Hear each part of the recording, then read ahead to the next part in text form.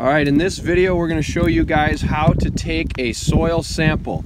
So you're gonna need a bag like this. You can get them from uh, any kind of state distributor. You'll fill it out, then uh, take a core sample of the soil. You'll First thing you do is clear away any of the brush or grass so you can see the soil. Then you need to use this tool here. It's very easy. Push it right into the ground and it lifts up and you can see there is a plug of soil right in there. And from there take the bag and put it right on.